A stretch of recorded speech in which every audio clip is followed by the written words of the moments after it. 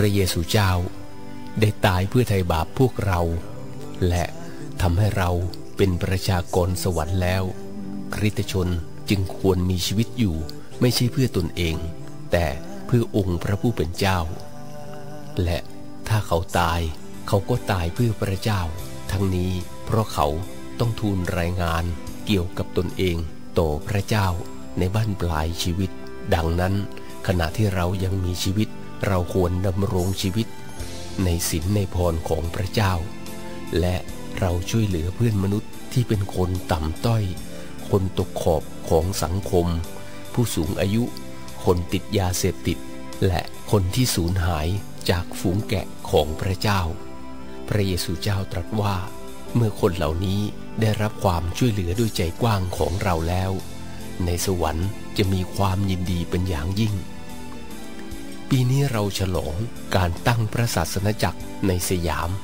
ครบรอบ 350 ปี และมีสังอีสานและลาว ฉลอง 100 ปีของมรณกรรมของคุณพ่อมิชนารีที่ยิ่งใหญ่ คือคุณพ่อโปรดมและคุณพ่อเกโก เราคงไม่คิดฝันที่จะไปประกาศพระวรสารในแดนไกลเหมือนท่านได้กระทำเพราะทำได้ยากมาก แต่สิ่งที่เราทำได้ คือให้เรามองดูสังคมมนุษย์ที่ป่วยอยู่ด้วยโรคภัยต่างๆ ทางศีลธรรม และการไร้ศาสนา ที่ทำให้คนเราพิการทางใจ ขอให้เราคริสตชนเป็นมือของพระเยซูเจ้าที่ยื่นออกไปหาเขา ขอให้เราเป็นปากของพระเยซูเจ้า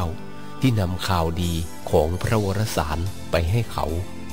โลกเราจะดีขึ้น เมื่อคนดีไม่ท้อแท้ แต่ผนึกกำลังกันในกลุ่ม BEC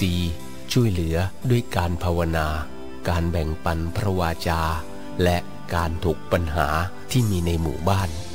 จากบทพระวรสารนักบุญมัทธิว บทที่ 25 ข้อที่ 40 พระเยซูเจ้าตรัสว่า สิ่งใดๆที่ท่านกระทำต่อผู้ต่ำต้อยคนใดคนหนึ่ง ท่านก็กระทำต่อตัวเราเอง